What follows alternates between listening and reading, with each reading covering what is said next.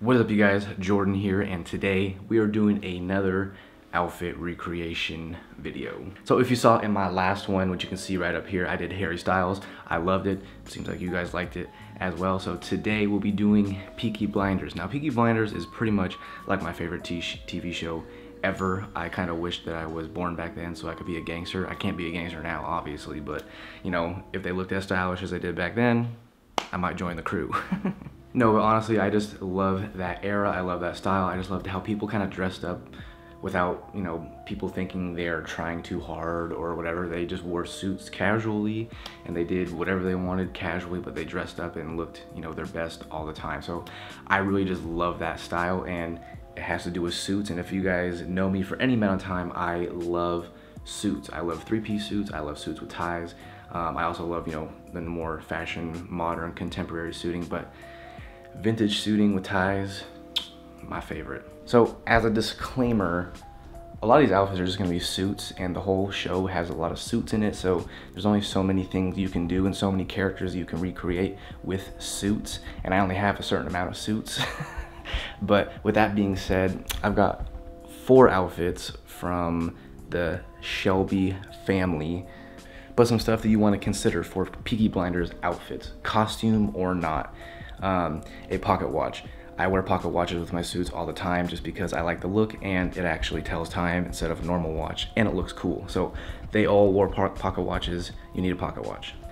Cufflinks because they didn't have a lot of buttons back then. They wore a lot of cufflinks in their shirt sleeves. It just keeps the sleeves closed and it looks classy and looks cool. And for me, I don't know if they wear this in the show, but it's just something that I like to do one single signet ring on the pinky, a little pinky ring. I personally have a finger handful of rings, but for this we're just using a little tiny ring on the pinky. And of course, you cannot be a Peaky Blinder without the Peaky Blinder cap. This is called a newsboy cap, so this will be featured in a lot of the outfits as well. So without further ado, let's jump into the outfits.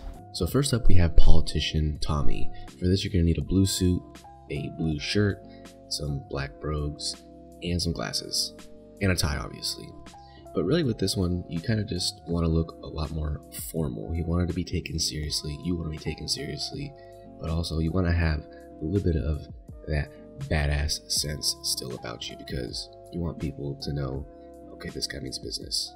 So we just have a classic tailored blue suit, a nice blue shirt with a white collar contrast, and you know, Tommy wore a striped tie, but I liked this champagne colored one to go with the color of the suit. Other than that, it's all pretty self explanatory.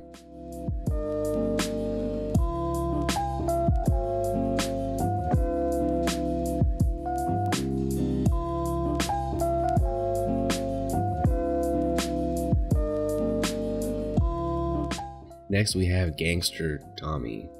For this, we're going to use a gray suit some black brogues, a blue tie, and a newsboy cap.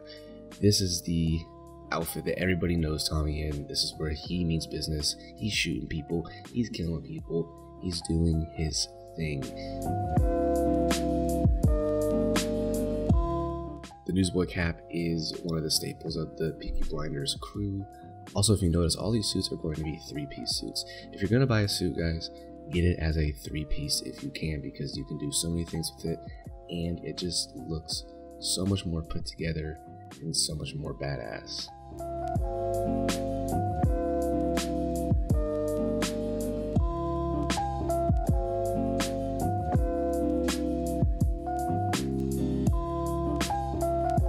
Here we have Michael Gray. You're going to need a pinstripe suit, a white shirt, a nice tie. Now, Michael Gray really wanted to be taken seriously. He kind of has his influences from America as well.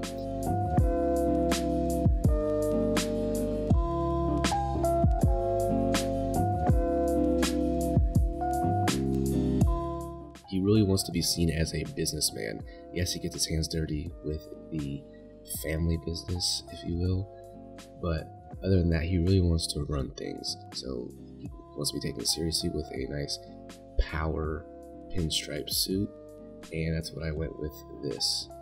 And that's one underlying theme for Michael, it's power. So he represents that in his suits and also his attitude towards the business.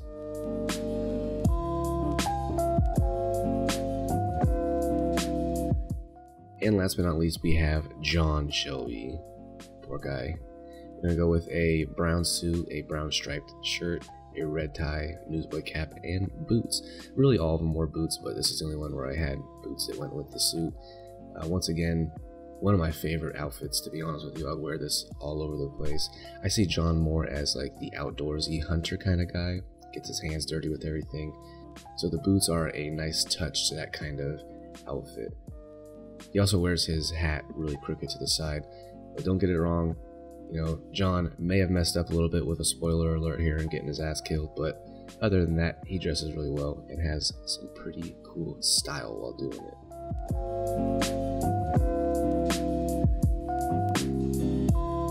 There you guys have it.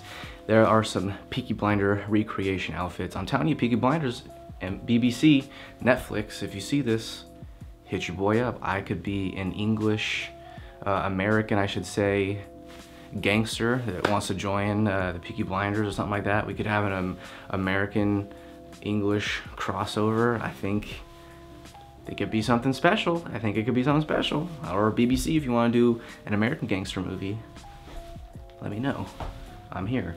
But uh, regardless, I this is basically just how I wear suits in general anyways. So Peaky Blinders and just that era of suiting and dressing is kind of just what resonates with me the most. And yeah, I hope you guys enjoyed. I know there's only four outfits. I know there's only four suits. Uh, but in reality, there's only so many things you can do with a show where all they wear is suits. So I hope you guys enjoyed. I hope this gave you some inspiration or just just liked the video in general. If you did, give it a thumbs up. If you want to see the other outfit recreation video I did with Harry Styles, it'll be right up there. And I've got a bunch more coming in this kind of series, if you will, from all the uh, comments in the last video. So I hope you guys enjoyed. I'll be talking to you soon. All right, bye. And stay safe. Wear your mask.